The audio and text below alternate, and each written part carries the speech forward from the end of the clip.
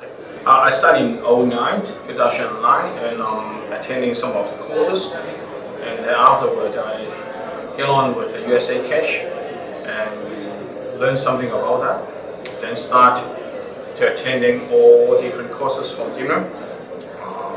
And initially, I had a lot of negative gear, probably.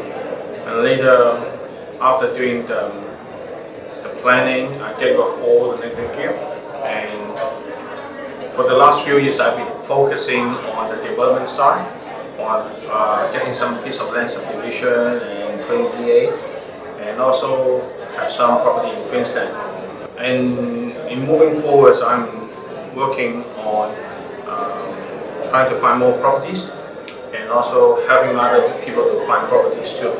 So uh, still continue to moving on, uh, but need to rework on the strategy so that I can move a bit faster.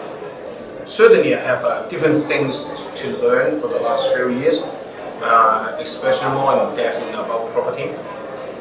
But for example, like um, no doubt I have a lot of things I learned from Dymphna, Ian, um, and also uh, the rest of the other support um, staff.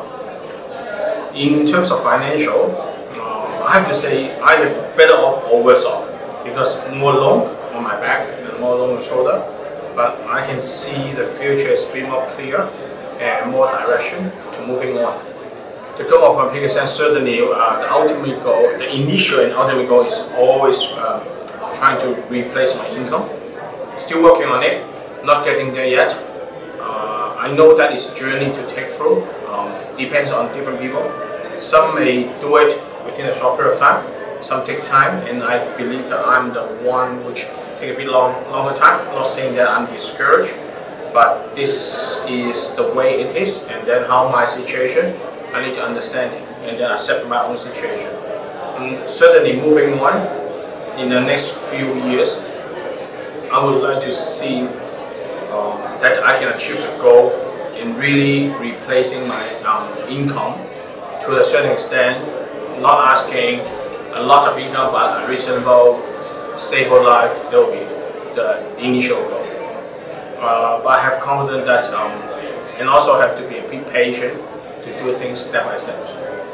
I have no doubt in recommending uh, Dymphna's program to anyone make sure, making sure that individual really have a passion in this industry before uh, they try to move on, rather than using the dollar, getting attracted how much I can earn, how much I can replace.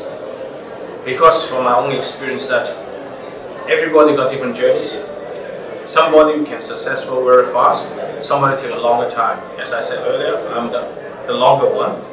Um, and also you need to understand there are you need to put a lot of effort and patience in the whole process and to accept things that change as time goes by.